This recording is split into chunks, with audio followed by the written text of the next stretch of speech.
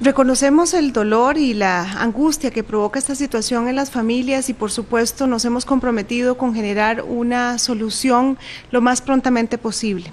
No solo tratamos de generar una respuesta expedita para las personas afectadas, sino que también lo hacemos cuidando al máximo los detalles para garantizar no solo la transparencia, sino el cumplimiento de la normativa nacional. Por eso nuestro llamado es a que hagamos este esfuerzo de forma conjunta.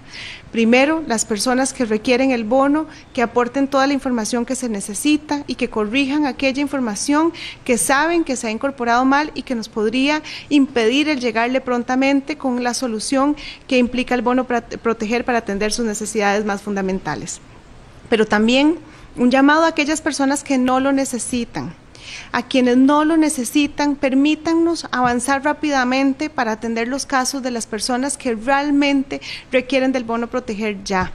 Las personas que cumplen con aquellos requisitos pasarán en este, en este momento ya teniendo los recursos a acceder al bono de una forma mucho más ágil. Pero si tenemos personas a las que tenemos que analizar su solicitud y no cumplen con los requisitos, simplemente eso nos está generando un retraso para poder darle una solución a quien realmente está esperando el bono. Esto es determinante para aliviar la situación de muchas personas y de muchas familias.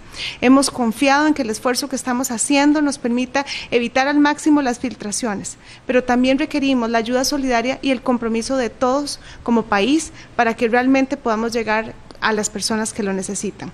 Seguimos trabajando Vamos a seguir rendiendo cuentas y por supuesto seguiremos dando nuestro mayor esfuerzo. Lo hemos hecho en jornadas muy extenuantes, largas horas de trabajo, múltiples equipos de trabajo, tanto del Ministerio de Trabajo como de Limas y del Ministerio de Hacienda, así como otras instituciones. El compromiso es total y por supuesto seguiremos rindiendo cuentas para garantizar que podamos no solo ejecutar los recursos de forma transparente, sino llegando a quien verdaderamente está esperando de ellos.